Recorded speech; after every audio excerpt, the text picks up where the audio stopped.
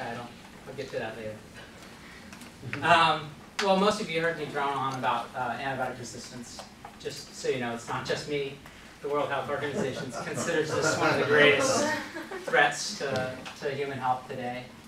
And uh, I would put it second only to climate change. And I, I'm not going to give a whole big background on this because I talk about it so much around the school. Hopefully you're all aware. Uh, but I will use this one projection, which is that if we do not change our, dramatically change our trajectory, that, um, that by 2050, one person will be dying of drug-resistant infections every three seconds. So uh, it will, it will, um, the death toll, the annual death toll due to antimicrobial resistance is projected to be more than what kills cancer each year in the United States um, today. So, uh, and I just heard, you know, the leader of the team that did this estimate, Jim O'Neill, who coined the term BRIC, the BRIC nations, Brazil, Russia, India, China. Um, and he said, you know, based on the, the emerging data that's coming out, that that was an underestimate. I believe it. So, you know, of course we want to change trajectories. So if you think about changing trajectories, uh, there's a lot of different things. We need new drugs, we need, we need alternatives, we need clean water. Um, but one of the key things that we need is to use the antimicrobials that we have today better. And um, but if you look at where they're used, it's, it's hard to know where we should focus our efforts. Mean, I think we should be thinking about all of the places. But, you know, one of the big debates is how much antibiotics are being used in animal production versus human medicine. So this is the, our most recent estimate for, for what's being used in human medicine, and it's not controversial to say that um, a big chunk of that, you know, maybe as much as 40%, is unnecessary. So we're, we're giving antibiotics too often in human medicine. Um, this is what we're using in animal production in the United States. And this is the amount of the same classes of drugs that we use in animal and human medicine. So the, the, the number is actually much larger if you include drugs that we don't use for treating infections in people. So the, the antibiotic selection here that's happening in animals can directly select the bacteria resistant to the drugs that we use in human medicine.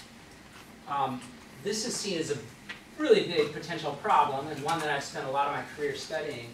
Um, but we still have this big question that's unanswered, which is, you know, how much does this antimicrobial use in animal production affect people? Or another way to put it, you know, what proportion of antibiotic resistant or antimicrobial resistant infections in people can be attributed to antimicrobial use in animal production?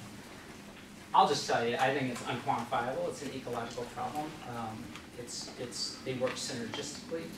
But even though I think that, I have to start to chip away. We have to start to chip away at this, this number to inform policies, to help people prioritize how they, they work on this issue.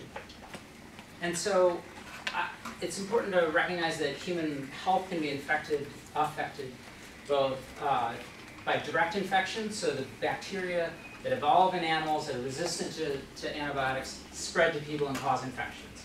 There's also horizontal gene transfer, so the, the bacteria and the animals evolve new resistance mechanisms uh, on mobile genetic elements, and those mobile genetic elements can be passed to bacteria that may be better adapted to animals to pathogens that are really well adapted to humans, and then cause drug-resistant infections. So that's how horizontal gene transfer can, can affect the problem. I'm going to talk about direct infection. That's the, our group um, here at GW spends a lot of time looking at this.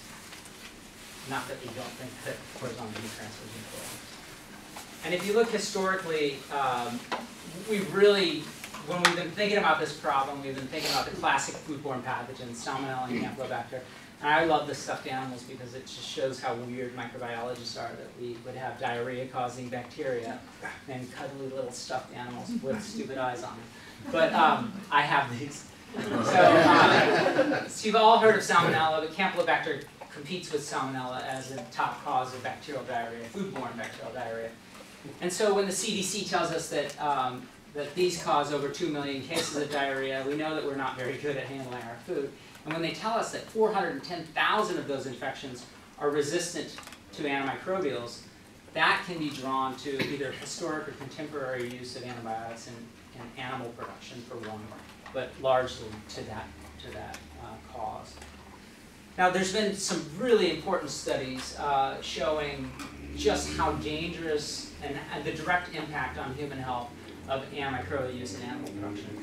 So this is uh, this was my doctoral advisor, Ellen Silbergeld, did a review a few years ago. I might have actually been co-author on this too, I can't remember. But, uh, but she showed that in Spain, when they introduced fluoroquinolines into chicken production, fluoroquinolines like Cipro, uh, is, Cipro is part of that class. When they introduced fluoroquinolines into poultry production there, they saw Cipro-resistant Campylobacter infections shoot up. And they just kept going up, going up, going up. And, uh, and they, they hadn't seen Cipro resistance in humans until they did this. And in the United States, what we saw was they, they saw, we saw the exact same pattern, no resistance until we introduced it into broiler chicken production. Then we start to see this rapid rise. The FDA takes on, they say, all right, this is clear evidence based on what we saw here and in Spain, we have to stop this. Bayer fought them for five years, um, and meanwhile, resistance kept coming up. And then they finally got the ban, and uh, resistance just flattened out. It didn't go away because it's a single point mutation in one gene, so there's no counter selection. So we're stuck. The genie's out of the bottle, but at least it didn't go up to you know virtually 100% as it did in Spain. This is a, a looking at it on the other way, from the other direction. This is my probably my favorite study from Lucy Dutel uh, from Canada, where they said, all right, let's stop let's ask the Quebecois broiler chicken producers to stop injecting chicken eggs with cephalosporins. So they would inject chicken eggs with cephalosporins. Those are the chicken eggs that go into the hatchery that then hatch into chickens that we then eat. So they stopped, you know, please, they said, please stop doing this, and they just voluntarily did stop. Canadians are really nice. And so they said, okay, in the first quarter of 2005, they stopped. And what happens was you see uh, cephalosporin-resistant salmonella plummets on poultry products. This is cephalosporin-resistant salmonella in people salmonella infections in people also plummets. And just to show that it's not just some weird strain thing with salmonella, this is E. coli, cephalosporin resistance E. coli in, uh, on poultry products, also plummets. So this shows that you can have a direct positive impact, and it's not even just the, it's not even the feeding the animals the antibiotics, but we're talking about injecting chicken eggs before they go to the hatchery, before they hatch, get fed whatever they get fed, and then go into the food supply really compelling evidence, but of course the industry argues against it. And that's just in two years. Yeah, very rapid. So obviously a strong counter selection. Now the problem is that our really good looking clip art doctors don't care about, don't you wish your doctors look like this? Um, sure, you can do that to me. Um, so, uh, Sorry to the doctor. Um, but they don't really think too much about salmonella and campylobacter, not yet anyway, because most people resolve, self-resolve, right? So you, you, you're sick for a few days, you use a lot of toilet paper, you it. Uh, they think about extended resistant, uh, extensively resistant tuberculosis, gonorrhea. Um, they think about ESBL, extended spectrum beta lactamase producing E. coli, or carbapenem resistant carbapenem-resistant uh, Enterobacteriaceae, or, or CRE, um, Klebsiella or E. coli, and methicillin-resistant staph. Now, you know, I'll tell you, I think it's pretty clear that uh, extended resistant uh, gonorrhea has nothing to do with animal production, at least not, maybe in Germany, but not here. That's it. Um, so uh, this really has to do with people not adhering to, uh, you know, good safe sex practices and all kinds of other things. Um, this has to do with complete failures of, of, public health systems in the developing world and our sort of our view in the developed world, not recognizing um, that by not helping these countries reach their sustainable development goals and control these kinds of infections, that these will come back and haunt us someday. But so we'll take those off the list as potentially being related to animal production. But then there are these bugs. These are colonizing opportunistic pathogens, E. coli and Staph aureus. They belong to a whole group. Uh, we coined this term a couple years ago to help people understand we've talked about opportunistic pathogens for years, but these are the kind that can grow in your gut or in your nose or in your throat for days to decades without any symptoms. But when they get introduced into another body site, like E. coli into the urinary tract or Staph aureus into the blood, that they can really cause problems. And so, and we've seen that resistance has grown very rapidly in the colonizing pathogens, and, and we can become these reservoirs, these walking reservoirs, unknowingly uh, sharing these bacteria with other people. And when we go travel to another country, we can come back colonized and then go visit grandma in the hospital or someone and share those bacteria.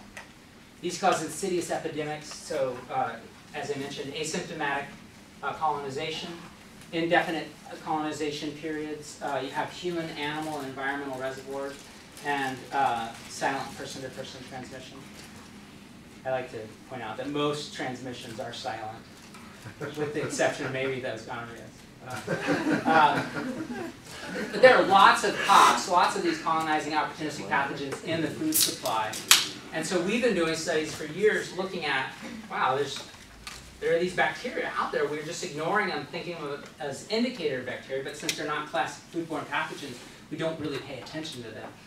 And so uh, we've done a lot of work on staph. I'll save that for another day. I've presented it before in the department. But E. coli is uh, my current favorite bacteria. I'm very fickle, but this is my current favorite. And from a, from a, you know, there are thousands and thousands of strains of E. coli. Um, that's supposed to look like Boris from uh, the UK. Yeah. That's um, I was just in England, you know. Uh, they have the same haircut, you know. So, uh, so, so there's thousands and thousands of strains of E. coli. So E. coli have been with us since before we were humans, right? So they've been colonizing vertebrates and diversifying all this time. And but from a clinical standpoint, there's the benign, the kind that we all have in our gut, or most of us have in our guts. There's the diarrhegenic kind. So think about Jack in the Box in the early 90s. Uh, E. coli 0157 kills, uh, you know, 100 people a year roughly in the United States today. Now that we've had some uh, improvements in food safety, and then what I would call the super bad, one of my movies, uh, that causes lots and lots of urinary tract infections. And when I say lots, I mean these things have special abilities. They can attach to urethral cells. They can cloak themselves in the immune system. They can produce toxins. They can do all kinds of stuff that allow them to cause bladder infections, uh, deal with uric acid. Six to eight million a year in the United States. Uh, at least a quarter million uh, kidney infections. So you start in the, in the bladder.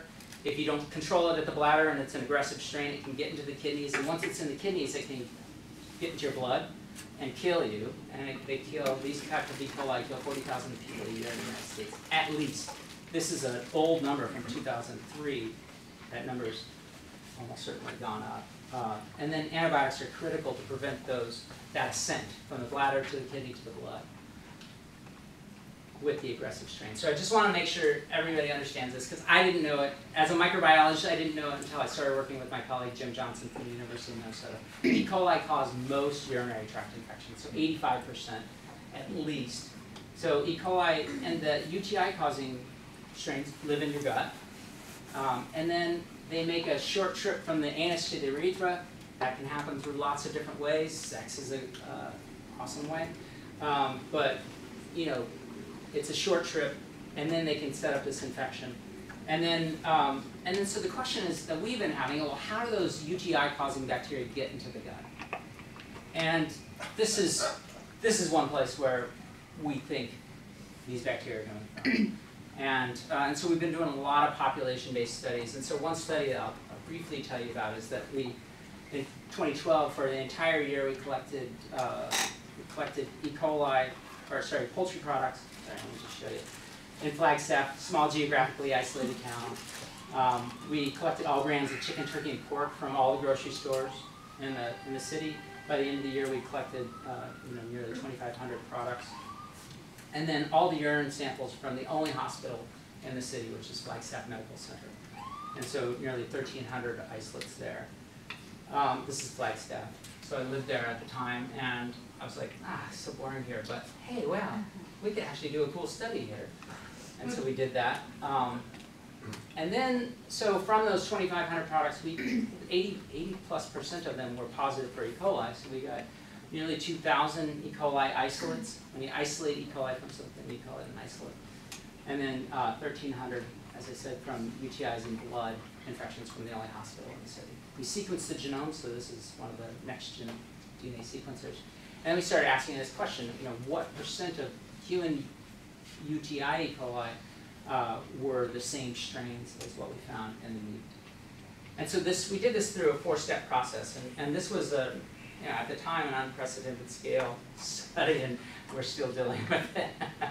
but uh, so it's a four-step process. We sequence the genomes, um, and then we extract from that sequence data what's called an MLST or multi-locus sequence type. So this is sort of a high-level DNA fingerprint. It was the gold standard before we had uh, whole genome sequencing, actually, um, which allows us to subgroup the, the isolates and then have really high-resolution phylogenetic trees, which is this whole genome, WG, uh, SNP, single nucleotide polymorphism phylogenetics or phylogenies for each sequence type. Sorry, lots of abbreviations. When, when we're in the second part of CE I'll tell you not to do that. Um, and then we, what we're doing, so this is a new addition to what we've been doing, and this is why, you know, I invited you here today. I wanted to talk to you about this. Overlaying these trees with host adaptive uh, genes is really helping us to learn more about the epidemiology and evolution. So from those, from those uh, nearly 3,000 isolates, I guess more than 3,000 isolates of E. coli, we had 446 different sequence types. So I said it's very diverse, right? Three, three types from a clinical standpoint, but very diverse in terms of sequence types. Each of these numbers is a different sequence type. The size of the bubble represents how many isolates had that same sequence type. And then the color represents meat if it's red, we got it from meat, and uh, yellow if we got it from urine. Clever, right? Okay, so so you can see that there are some epidemic strains in humans, some epizootic strains in animals, and uh, and then a smattering of, of lots of other different sequence types. This is a new strain. Uh, our colleague uh, Tim Johnson, I'll talk about later, uh, has, has been watching the emergence of this rapid emergence.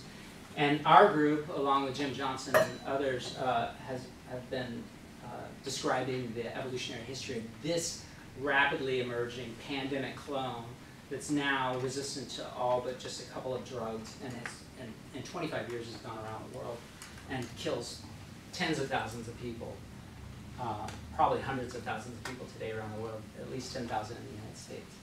So those are the different sequence types. But when we look at their, this is an evolutionary tree. Um, I I won't go too deep into how we look at how we look at these trees, except to say that um, that this is a tree that's been ordered in terms of uh, evolutionary history. So it's rooted, and um, and so most ancestral is back here. Each of these little nodes represents a theoretical common ancestor to all the things that are connected to it. And uh, what you see is that we have this, we call it a clade, right? All these are groups. So all of these sequence types, so this is one isolate from each sequence type to see how they're related to one another. They all share a common ancestor. And you see that they're disproportionately in animals. So there's some, there's some historic relationship between those that tend to be in animals. And then those that tend to be in people, so mostly gold, mostly gold, um, tend to group together as well. But you, you can see clearly that there's a lot of, that there's also overlap.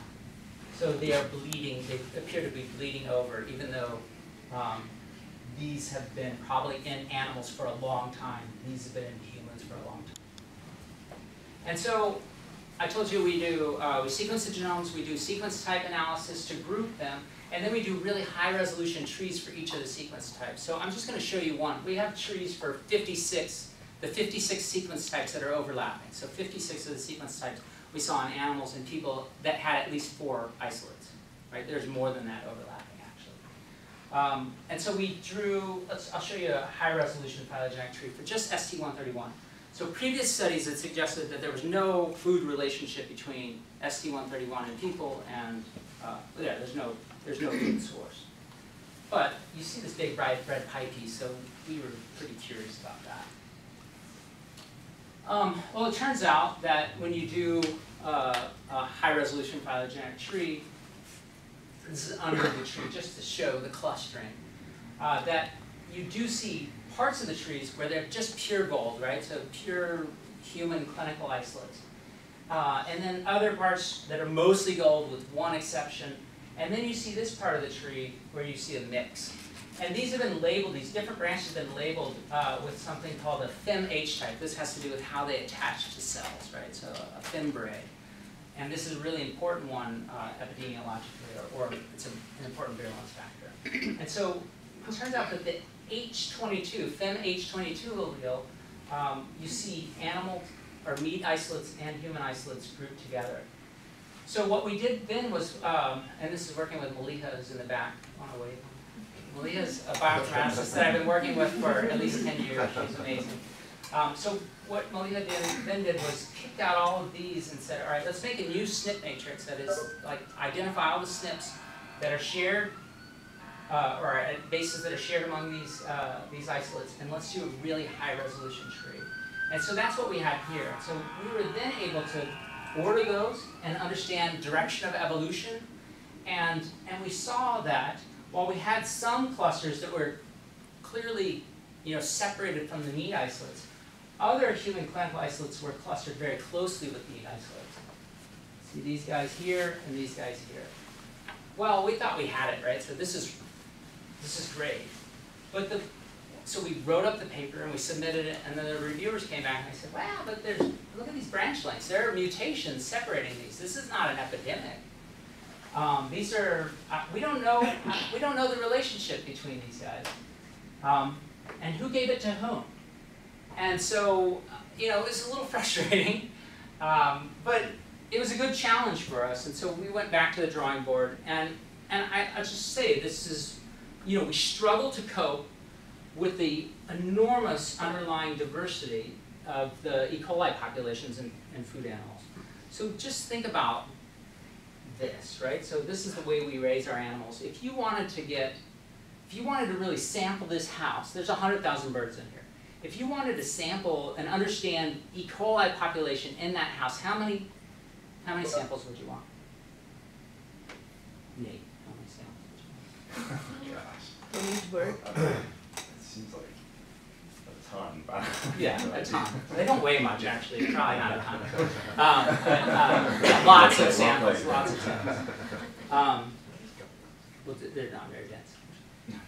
Okay, so I would want, I'd want a lot too. And then think about poultry production across the United States. We produce nine billion chickens each year. That's just chickens across the country. This is the broiler belt overlaps the Bible Belt, interestingly. Um, and then we have a little bit over here in California. Um, 8.9 billion chickens, right?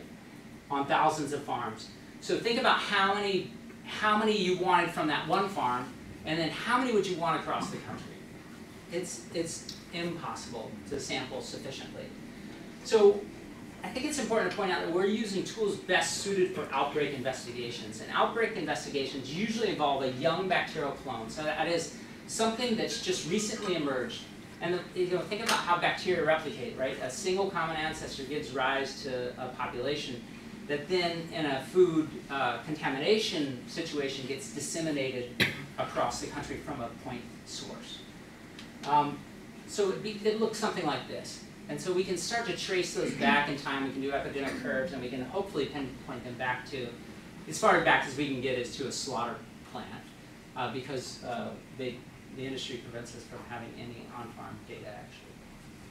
So we can trace it back.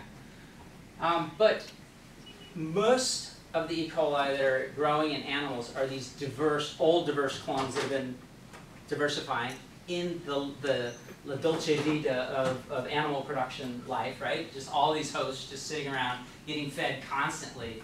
These guys are diversifying. crazy. And so instead of this, you have this, right? You have, you have these things bleeding over, not epidemically, but sporadically, but lots and lots of bleed over, potential bleed over. So I, this, this brought me to this question, like, wouldn't it be, I always want an easy answer, right? Wouldn't it be great if they just wore uniforms? Just, so I put out a request, E. coli, please just start wearing a uniform to tell me where you work most of the time. And so Forrest Gump was very influential on my life, and he said, uh, remember this where he said, those look like comfortable shoes? He said, Mama always said you could tell a lot about a person by their shoes. Where have they been, where are they going, all right? thought about this, wow, if we had some shoes for E. coli. well, then I thought about my buddy Tim, uh, Tim Johnson, University of Minnesota Vet School. So Tim, let me tell you about Tim. So um, Tim is a professor. He's got an R01 J Graham. I introduced him. Um, uh, University of Minnesota Vet School, veterinary microbiologist. He's a plasmid, very famous plasmid biologist. He's been studying plasmids. These are these little pieces of DNA that bacteria share, and they can help them adapt to different environments. And he's a snappy dresser. Look at this guy. So if anybody knows about like poultry fashion, what kind of shoes would be wearing?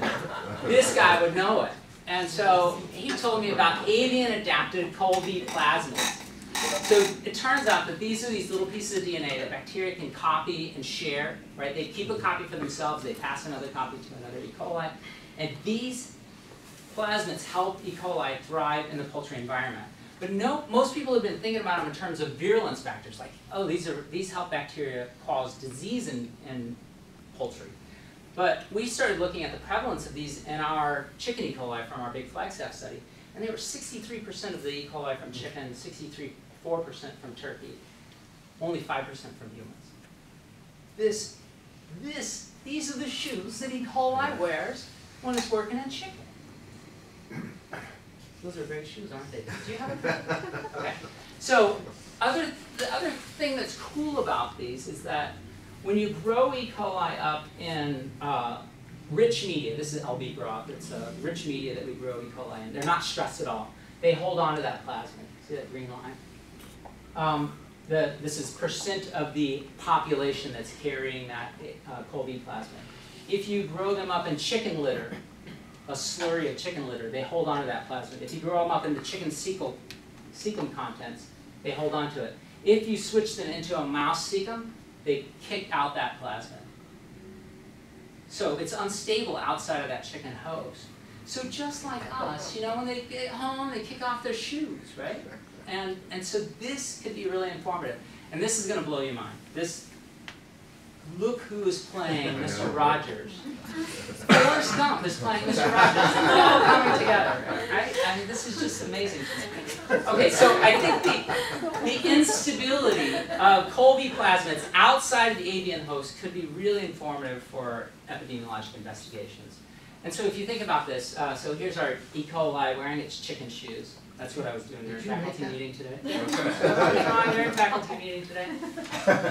And you follow them over time, as I said, they hold on to those shoes, right? Um, if you grow them though in, uh, and we're doing the experiments right now, so we could replace him with a mouse right now, because that's all we actually know right now. But we, theoretically, we anticipate that if you grow these over time in people, that they're gonna lose those shoes, right? So in that new environment, a, a more stressful environment. And as I said, Tim is doing those experiments right now. Then, if you if if this woman comes into uh, the hospital and she has a urinary tract infection, and we get a urine collection from her, and we culture out E. coli that has these chicken shoes on it, then we can we can not only I think we can not only start to say that that it probably came from chicken, but also it was probably a recent transmission because it still has those shoes. So that's what we're digging into right now, and we're, we're we have a grant due on Wednesday to, to really delve into this. So we could start to say maybe she got that E. coli from chicken. Okay, so now coming back to this tree, right? So the reviewers didn't like this, but then we overlaid the tree with the Col V plasmid. So this, this is a little round symbol to represent that. What we found was almost all of the poultry isolates, the E. coli that we got from poultry products, had the Col V plasmid. So did the human urinary tract isolates that were most closely related to the poultry isolates. This to us was super compelling evidence that not only did they get these, these infections from probably poultry product exposure to poultry products, but that it was recent, that this has not been circulating in human populations for very long. And it turns out that the reviewers agreed with us, and, and so that was quickly accepted, and then it's been highly cited and, and was the top read paper in MBio that year. Yay. I'm looking at Malia. Do you suspect, do you suspect that in time the shoes will fall off the, Yeah. the human? Yeah, so, um, which, which comes to differentiating host spillovers from host switches, and so, uh, thank you, you're priming me. All right. I think, you know, it's unlikely, well, I, I'll show you that it is untrue, that this is the only host-associated accessory element.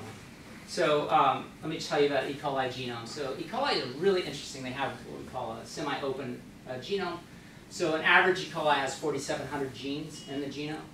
Um, the pangenome, if you look at all this, the isolates that have been sequenced to date, you know, we're pushing 60,000.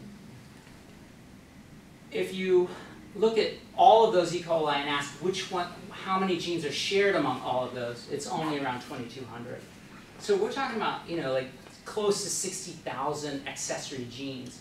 And it's probably that these accessory genes probably underpin E. coli's ability, partially underpin E. coli's ability to colonize so many different vertebrate hosts. Um, and they may also be invaluable epidemiologic tools. And so one of our premises is that over time, E. coli populations undergo simultaneous diversification and conservation in food animals. Now, this is, these are two totally different patterns, so what, I, what I mean here. I mean that as they, as they grow in that very uh, welcoming environment of a chicken host, you know, where there are 100,000 birds all crowded together, they're just gonna, they're, they're not under stress and they're just gonna, they're just gonna get mutations. They're gonna accumulate mutations in their DNA, which makes it really hard for an epidemiologist that's using SNPs, single nucleotide polymorphisms, to understand relatedness. However, we also anticipate that because they're trying, they have to adapt to that chicken host, that they're going to have a conservation of the accessory elements that are associated with success in a chicken. So you might have very diverse lineages, but they're all going to share, or many of them are going to share things like the Colby plasmid. So they might be very diverse, but they'll, ha- they'll all have Col- Colby plasmids. Does that make sense? So let me use my, my uh, nurse example to help explain this a little more. So historically, you know, um, nurses were all white women in white outfits, right? But over time, they've, you know, as the industry has grown, as we've grown as a society, um, they've diversified. But they still wear pajamas to work, right? And they still wear the matching pajamas. They all still have those outfits. Um, and so I think that, well, I think that this is an analogy for that, right? Um, and then one of our major goals is to then differentiate between host spillover and host switch events. So a spillover is when you have a big source, you have a source of E. coli over here, animal production for instance, and it's spilling over and it doesn't take up long-term residence in the human in the human ecosystem, right? So it just takes up enough residence to cause a disease or it just passes through eventually, we shed it away. But a host switch means that it's jumped and it starts to become adapted to that new host, right? So it's not only going to shed those those elements that were good for chicken, but they're going to pick up elements for the human host, and or whatever the new host is.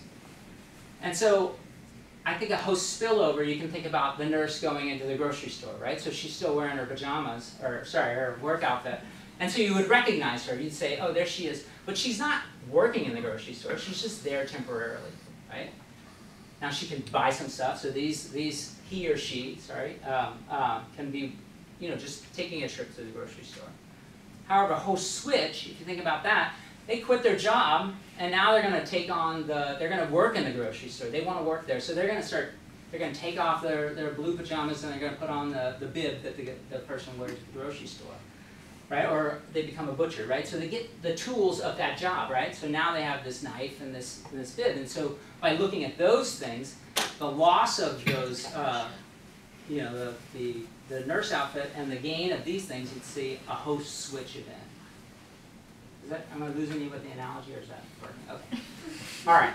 So another premise is that I think that only host spillovers are actionable in food animals. So if there's been a host switch, if they're now established in people, we can't do anything about them. And the antibiotic use in animals is irrelevant anymore. right? So now it's, it's just whatever's happening in people is affecting them. However, if they're still spilling over, and we see some really virulent strains that are spilling over actively today and causing disease, then we can go to the animals and we can vaccinate or try to eliminate those, those hazardous bacteria in the animals. And it turns out that the bacteria that are causing urinary tract infections in people also cause disease in the animals. And so we can come together and we can say, all right, these cause us problem, these cause you problem. Let's put our forces together and let's try to eliminate these. Let's let's put some investment into this. And so that's where Tim and I are really, you know, we work together to try to find these co-hazardous strains, I guess. Um, yeah, and after a host event, event, it's too late. So I will just point out that empiric biological discovery is too slow. So the reason we started using ColdV was because Tim has worked on it for decades, right? And he knew that this was an important plasmid. But we can't wait for these guys to, to do that kind of discovery. And so we, we want to flip that on its head and we want to find a naive approach to just find these elements. And so we've been using a comparative genomic based approach of all of our 3,000 plus genomes um, and asking, asking the data which genes are associated with, with which hosts and, and uh, are not associated with hosts just based on lineage. And so we have found now um, 46 different multi-gene elements, so, so operons and, and plasmids and, and all kinds of stuff associated with different hosts. They make sense in many cases. Like some, one of the cool examples that we found uh, was a uh, was a, a, couple of genes associated with using um, sugar sugar replacement. So um, like not saccharin, but I can't remember the name of the sugar, but an alternative to sugar that you'd only find in humans. And it turns out that the E. coli in humans carry those genes disproportionately. We've also found some other avian virulence genes. So we found uh, found different hosts that differentiate poultry from humans, chickens specifically from humans, turkeys specifically from humans, pork, and then also humans versus the animals. And so if you look at that, this is that same tree in just a slightly different order of the different sequence types. And the gold, the gold uh, dots are host, human host associated elements, and the red dots are animal host associated elements. And you see that this is the animal part of the tree, right? And this is the human part of the tree. And so the patterns really do hold up. And, and, um, and this is the ST131H22 tree that I showed you before. And what you see is that these, these human isolates that are most closely to the closely related to the animal isolates carry more of these um, animal associated elements and not the human associated elements. These are just plasmids here. So I naively, I do a lot of naive things. Um, I just have ideas, and then Malia has to tell me, oh, that's and all the time. Okay, so I naively thought that um, we could find all these markers and we could get our sensitivity up to like 100%, right? Uh, but it turns out I was forgetting that you're also losing specificity with each of those markers. So what's really happening is that with each of these markers, we start to bleed over more and more to the human isolates. And so that kind of sucks, right? But you can start to counteract that with your human-specific uh, markers. But uh, this guy, anybody know who this is? Bayes, right? Bayes. So Dan, who works in our lab, Dan Park, um, said, hey, I think you could use a Bayesian approach to, to use all of these markers together without losing necessarily your specificity. And then he used to work with this guy, Jinkei Wu, at University of Michigan, and uh, Jinkei said, yeah, you can do this, and I already have a model written for it. And so we've been working together with these guys, uh, not him, he's dead, um, to, to, develop a Bayesian-based approach. And, and, and so this is Dan. I love, Dan's a really good thinker and, and uh, has these great analogies. And so I was, explain to me again how this Bayesian thing works. So he said, all right, so, so you want to you wanna figure out what's the likelihood that this hipster here is a coffee drinker, right? Does she like those coffee beans? Well, you know, let's say 60% of the population drinks coffee. So right off the bat, you know, your probability, you know, you have a pretty good probability of hitting that person. There, um, she works in an office. People working in offices uh, are more likely to drink coffee, so that shifts the, the they call it posterior probability over slightly to the right of being a coffee drinker. Um, if they have a coffee mug on their on their desk, that also shifts it. But people can drink tea too. I was just in the UK and they're like, wait, we don't use that for coffee. Uh, but if it says I love coffee, that's a real implement, right? Um, um, but this person didn't have that. But if they had a coffee grinder, oh, almost certainly. Or if they go to Starbucks, there's a chance. But they also start, sell other stuff at Starbucks. But so uh, she didn't have the coffee grinder, but she went to Starbucks. We shifted over a little bit because they do sell tea and other nice snacks, and they have free Wi-Fi. Right? Um, however, if you do find that coffee grinder, then the, the probability just moves way over, right? And even though these are not, not everybody's going to have a coffee grinder, so the, the, the sensitivity is pretty low, but the specificity is very high, and it does have value in a, in a, um, in a Bayesian model. And so what we've been doing is, is taking all of these markers that we've been identifying and trying to understand our uh, net sensitivity and specificity. Um, this is uh, one minus, but one minus specificity.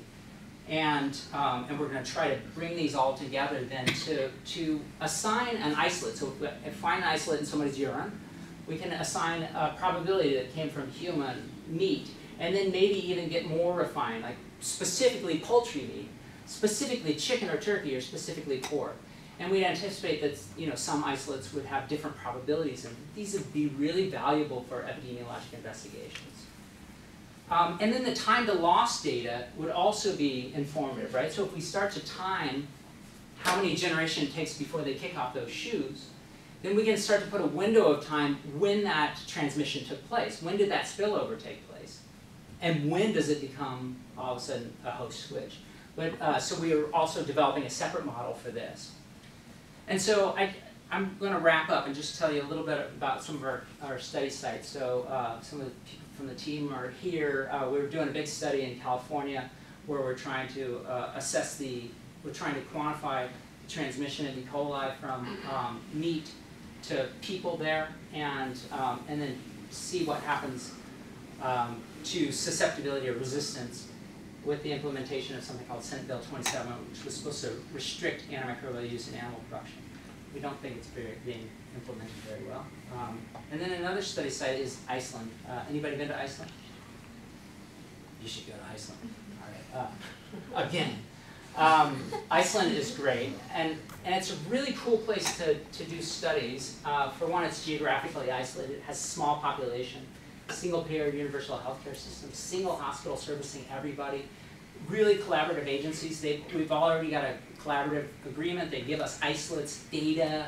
They're really, they're really transparent. They've sequenced all of their citizens, so eventually we can start to understand that too. Um, uh, outstanding water sanitation, and they've prohibited the importation of fresh uh, raw meat for 30 years, which has really been a barrier to people bringing in meat. And so, this is a you think about we should be I, I want a real world context but i want a simplified real world context to start to understand the rules and then we can layer on the complexity by going to someplace like taiwan right?